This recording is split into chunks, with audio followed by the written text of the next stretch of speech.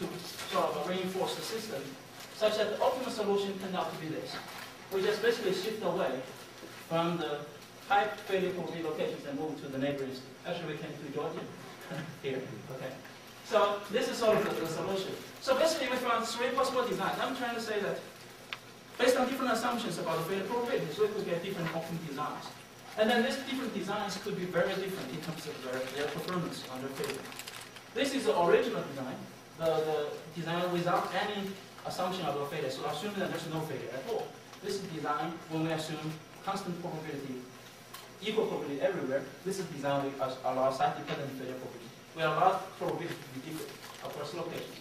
And then this, this is a cost in the normal operations under normal scenarios when no facility fails. This is a cost.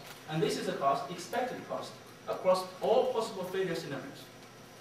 You can actually see that this design actually did worse than, the, than this one. And then this one significantly reduces the cost of possible failure, you know, in the failure scenarios. So this basically says that, well, first thing we want to say that, you know, the failure probability does have a significant role in terms of system performance. We have to see huge cost differences okay, across different designs.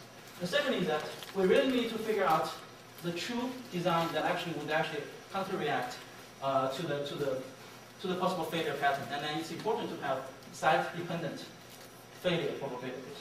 So this is not doing very well in, in our problem. Okay. So to address this problem, so now I hope we have a brief idea about what this problem is and why we need to address it.